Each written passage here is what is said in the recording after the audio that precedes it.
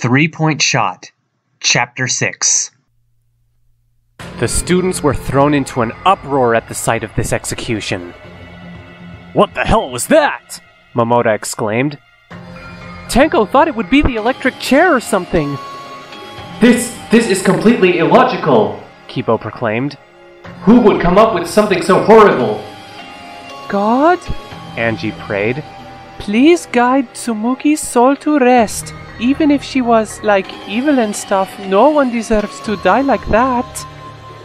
Even the more abrasive students, such as Maki or Miu, were stunned to the point of silence. Kokichi simply turned and walked away.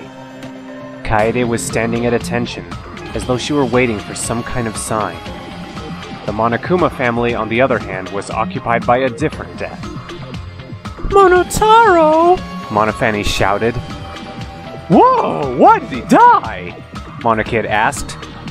This is best. The other Monokuma cubs turned to Monodam. We should get along. We can share in grief. We should get along. Monodam, what happened to you? Monosuke questioned. We should get along, Monodam repeated. Let's get out of here, Monokid advised. Monodam's starting to creep me out. So long, farewell! The cubs exclaimed as they left. Monokuma seemed unaffected by either event. It's always sad when you have to bury your children, but what's the point of living if you don't experience every despair imaginable? Boo! No one offered a response. What's wrong with you, brats? You look like you've seen a ghost. Is Shirogane-san haunting you? Monokuma mocked. Kaede finally spoke. Were you telling the truth? Was Shirogane-san really not the mastermind? Of course not, Monokuma answered. Why would I let the mastermind run around where any of you could stab them in the neck or something? Then, Shuichi realized, the mastermind isn't even in this school? Maybe, maybe not, Monokuma hedged. Why don't you figure it out for yourselves? Before he could leave, Kaede called out to him. Wait! What do you want now? Just. Kaede's voice grew softer as she spoke. Why? Why did Shirogane san help you? Hmm, hard to say. Monokuma pondered this. I guess she was just one of my many adoring fans. And you just killed her! Kaede yelled, tears in her eyes. You killed your own ally! Your so called son is dead too! Do you even care about anything? Boo! The bear chuckled. I really don't get you, Akamatsu san. If she had her way, you'd be killed for a crime you didn't commit, and you're crying about her being dead? She. the pianist barely choked out. She didn't deserve to die like that! You think so? Monokuma asked. If you knew about all the other stuff she did for me, I wonder if you'd feel the same way. With that cryptic question, the bear finally left. So what now? Kaito asked. We move on, I suppose, Kibo replied.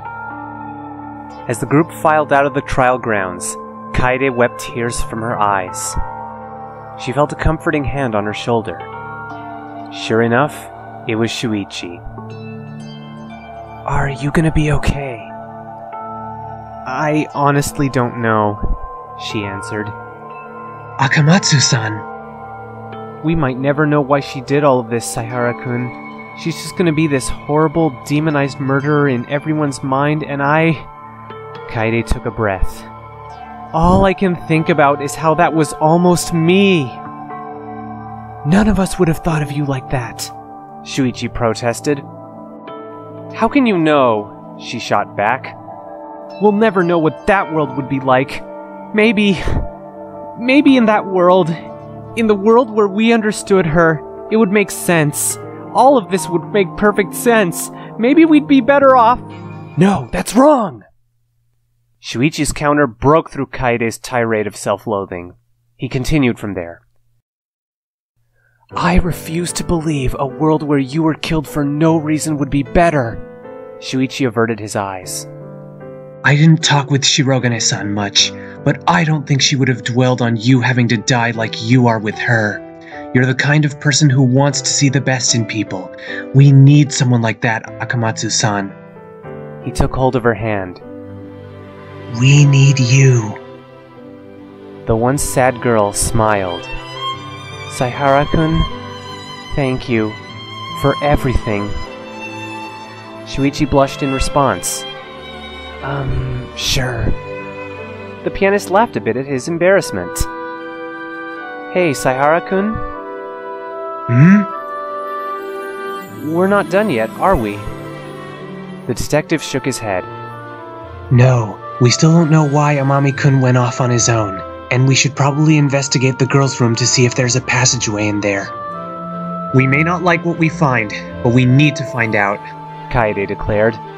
I'll face whatever cruel truth awaits me head on. She took off the loaned hat. You can have this back. Oh, thanks. He looked at it for a moment. Is something wrong? Kaede asked. I.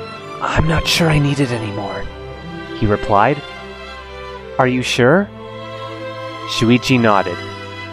If you're gonna face whatever's ahead, I should face it too. As a detective, I can't avert my eyes to the truth.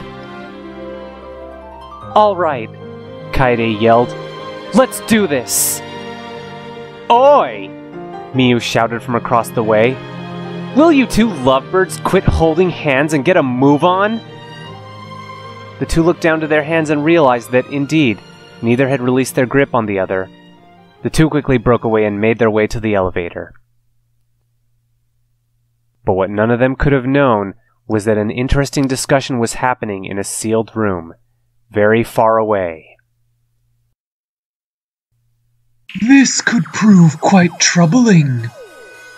With the primary asset lost, we may have difficulty controlling the narrative.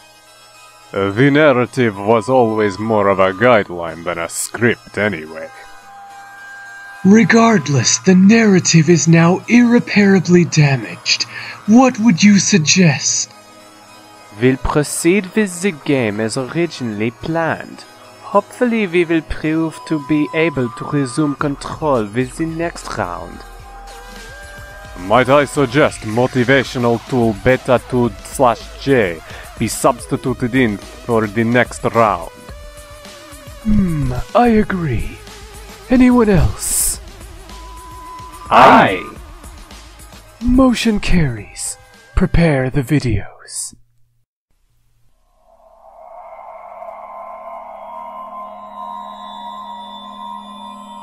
Surviving students